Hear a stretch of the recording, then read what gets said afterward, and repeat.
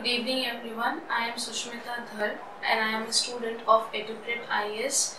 I have completed my post-graduation in economics. Being an IAS officer has always been my dream. Educrat IAS has provided me a one-step solution for all my problems, be it from the preparation point of view or keeping myself motivated.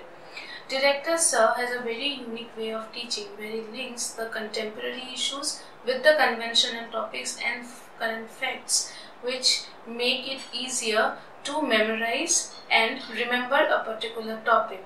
So there is a holistic preparation technique which is followed in Educrat IAS. Also the classroom environment keeps me motivated and uh, forces me or rather I'll say boosts me to push my preparation procedure beyond my comfort zone. The weekly and the monthly tests keep me grounded to the preparation procedure and so that I don't deviate from my goal of becoming an IAS officer. Henceforth, I would recommend all the UPSC and basically the IAS aspirants out there to come and join Educrat IAS